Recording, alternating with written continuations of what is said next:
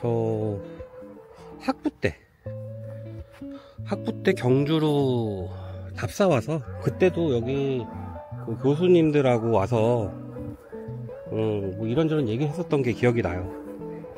예, 연세대학교의 그 이인재 교수, 이인재 교수님하고 와서 설명을 줬던 기억이 나네. 그 사학과 교수님들하고 오면은 그 유산에 대해 유사 이게, 이게 문화유적이 답사로 오잖아요. 그럼 사학과 선생님들은 역사 얘기를 하세요. 예. 그 원, 원성왕 원성왕과 관련된 역사 얘기나 이런 거 하세요. 근데 문화재 저는 좀 그때도 이상했던 게 문화재에 오면 일단 뭐 역사 얘기는 앞에 이제 베이스로 깔아주고 그러면 참 좋겠지만은 문화재에 대해서 설명을 해줘야 되잖아요. 그러니까 가령 저 성물은 무엇이고 저 저 석주는 무엇이고 응? 가령 이, 이 고부는 어, 어떤 식으로 조성이 된 것이고 뭐 언제 조성이 된 것이고 이런 얘기는 안 하시고 그냥 역사 얘기만 하시는 거예요. 듣다 보면 그러면은 그냥 사진 띄워가지고 교실에서 책 보면서 공부하지 굳이 여길 왜 왔어? 막 그런 생각이 드는 거야 나는. 이 현장에 왔으면 현장에 대해서도 설명을 해줘야 되는데 가령 우리가 63빌딩에 간단 말입니다.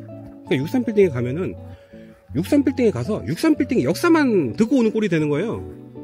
그러니까 63빌딩이 이게 몇 층짜리고 이게 내부에 들어가면 뭐가 있고 어떤 시설이 있고 어, 뭐 때문에 만들어졌고 뭐 그래서 뭐 어떤 공법을 만들어졌고 뭐 겉에는 옛날에 금을 발랐다가 지금은 금이 아니라 금 색깔이 나는 어떤 물질을 발랐다는 등 뭐 이런 여러 가지 그 건축과 관련된 얘기를 해야 되는데 맨날 역사 얘기만 해.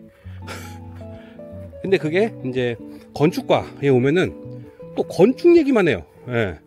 제가 또 박사님 건축 건축과잖아요. 그러니까 또 그러면 건축 얘기만 해. 건축 건축만. 음.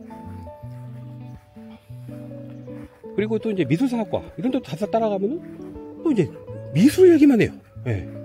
그 나는 그런 게 체질이 안 맞아요. 그래가지고 난 이런 데 가면은 역사도 살펴보면서 문화유산도 살펴보고 미술 예술과 관련된 부분도 같이 살펴보는 예. 그리고 그렇게 살펴봐야 그 유산에 대해서 제대로 이해가 되더라고요. 저는 다른 분들은 어떠실지 모르겠지만 어, 결론은 뭐냐? 그래서 한 분야에 뿌리를 내리지 못한 거 아니냐 네, 그 생각이 듭니다. 내가 사회생활을 못하는 건지.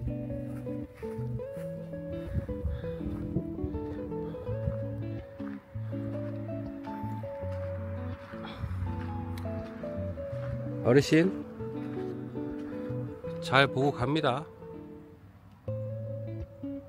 건강하시고